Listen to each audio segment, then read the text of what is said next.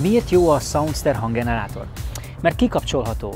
Tehát, ha diszkrét akarok lenni, nem kapcsolom be, de ha indiszkrét, bekapcsolom és bőgetem, mint az állat. Környezetkímélő, hiszen nem kell egy benzintemetőt vásárolnom ahhoz, hogy élvezem ezt a, ezt a hangélményt. Nem veszítem el az autómnak a garanciáját, ami nagyon-nagyon fontos, legalábbis az én életemben. És hogy miért rossz? Ez nem rossz, ez jó.